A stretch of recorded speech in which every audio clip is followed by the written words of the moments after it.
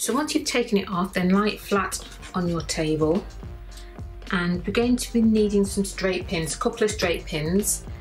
Hello fashion sewers, I hope you are well. I'm here to inspire, motivate and share ideas for refashioning clothing. And if you're into that sort of thing, consider subscribing and let's get started. This is the top I'm going to be refashioning.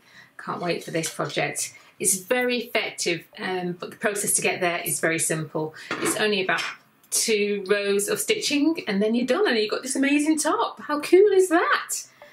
So what I need to do first of all is to try this on so that we can get the, the draping effect to the front.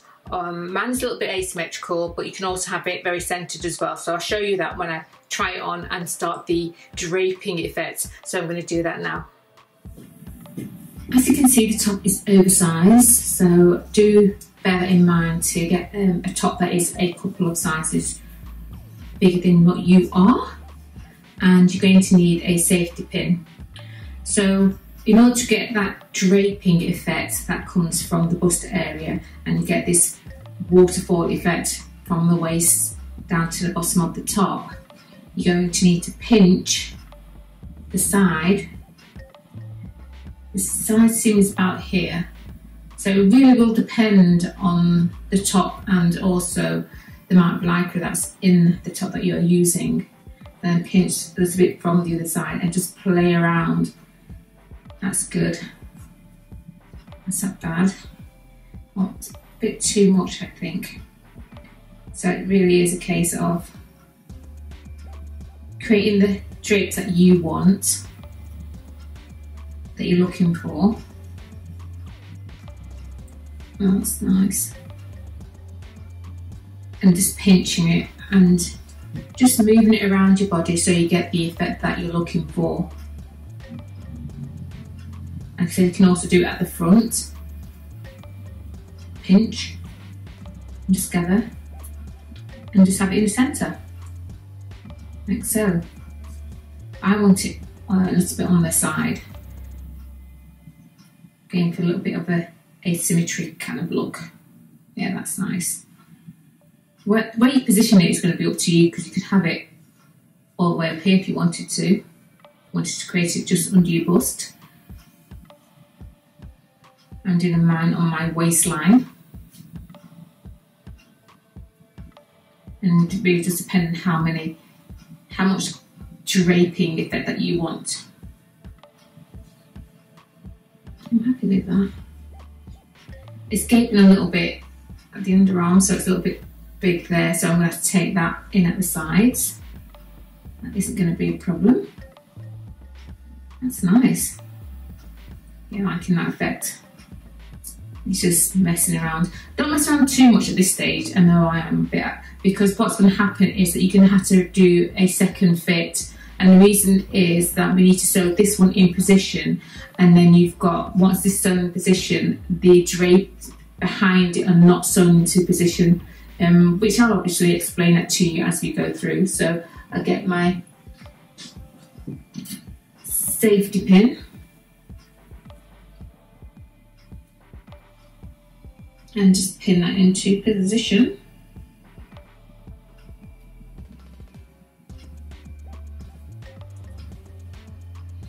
He wants to do any more.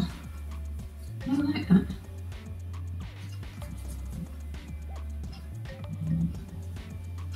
Turn on the back so you can see the back. Like I said, the underarm, it's a bit on the big side, so it will be a case of tapering that into the side seam. That isn't a problem, that won't be an issue. And there we go. Yes, now we've got a top that fits me now.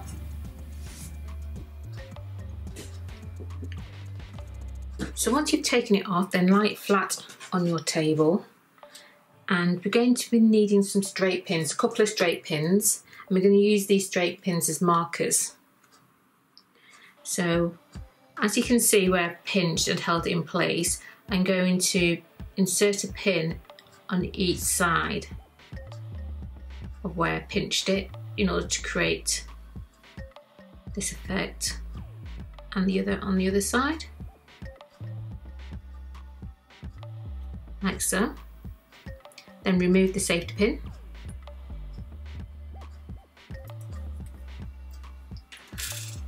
And you've got two markers there. Now that will help when you come to turn it on the wrong side because we need to sew that into place. So gently turn it to the wrong side.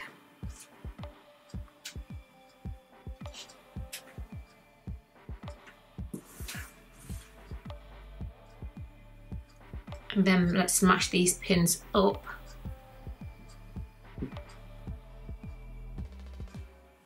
You're going to need a third pin. You can feel where the pin heads are. Then put this pin in position like so. And go to the right side and remove the pins. There we go.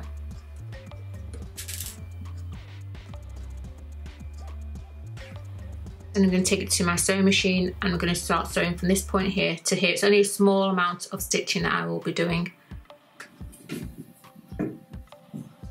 Okay, so it's a case now of you can actually stop at this stage if you just wanted one row of stitching. Um, it just means that you probably have to play around with the draping effect every time you wear it. Or you can go for the other option, which is what I'm going to do, is just find the best kind of gathering of, the fabric that you like. That's, oh, that's nice. Like that's what's happening here. And then maybe just play around with the bottom so that you get the effect that you're looking for at the bottom here. That's nice and that is when I'm going to put two pins in place. Get my straight pins and then just place them. Make sure you're happy with the placement of how you're draping.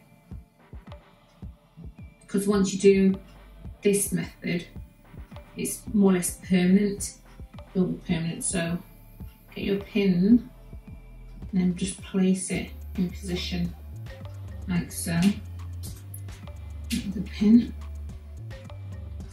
and just make sure it's flat underneath. Yeah, the pin. Yes, I'm happy with that. And it's a good idea that if you've got that gaping effect that I had to sew that down before you know you finalise the way you want that draping to be. Now we've got a top that fits with little effort. Yeah, that's cute. That is really cute. Okay, I'm now ready to sew those in position and then this project will be done. So this is where I'm going to sew along here and along that side. Um, you can sew a straight line. I'm going to come slightly at an angle to create like a little pointed arrow. Let me show you the wrong side. So those pins are holding those pleats together. See, there's the pins. And there. But we're going to sew on the right side. So I'm going to take that to my sewing machine now and sew those into place and then the project will be completed. The garment will be ready to wear. Just slip your work onto your sewing machine and make sure it's flat as possible because you don't want to have any lumps or bumps under. The pins should be holding the pleats or the gathering or, or the draping effect in place. So it's just a case of then just sewing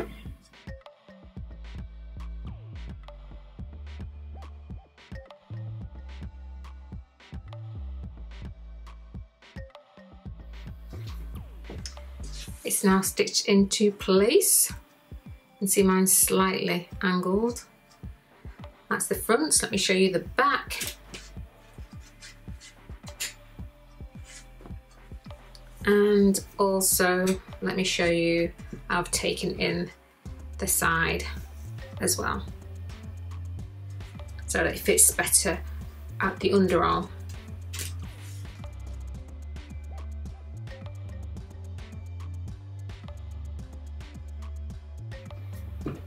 Tips and advice um, tips and advice, I would definitely recommend that you would, if you're having the same problem that I did where there's gaping under the arm, to do that first before tackling the draping effect. That would be key to make sure you've got a good fit that you're looking for. Use stretch needle because um, it's this is really really stretchy. Not all um, knitwear is stretchy, so do bear that in mind. Use a stretch stitch if you've got stretch it on your sewing machine, or slight zigzag, or even um, a, a, straight stitch if you don't have any of those. That's still fine. It will still hold those gathers into place. You can do a lot more smaller um, stitching that I did as well, because mine was about, they're about. Uh, about 2.5 centimeters, maybe five centimeters, an inch, an inch and a half. Um, could be, uh, could have yeah, it could be just as effective with half half an inch or um, or an inch. It really is dependent on you, and also the the, the, the actual top that you're working with as well. Do pay um, some attention to that. Um, it's a great way to um, make a, a top smaller. You don't always have to take it in at the sides. And yeah, that's that's about all that I could um, share with you with as far as advice and tips are concerned. So that is a fun way to make a vest top smaller, just adding that detail, all that gorgeousness. So you can either have it at the front or at the side. It really is up to you. you probably could even have it on both sides as well. That's an idea. So if you enjoyed this video, then please give it a thumbs up and please do share and I will see you next time.